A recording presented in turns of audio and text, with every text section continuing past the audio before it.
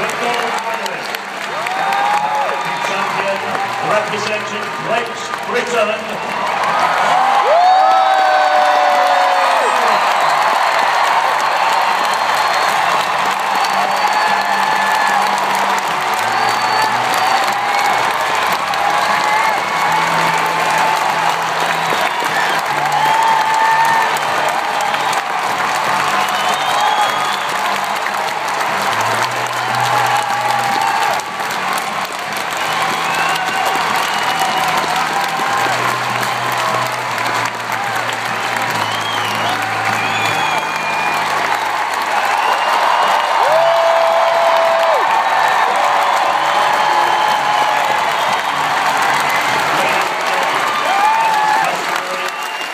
those who are able, please stand for the national anthem of Great Britain.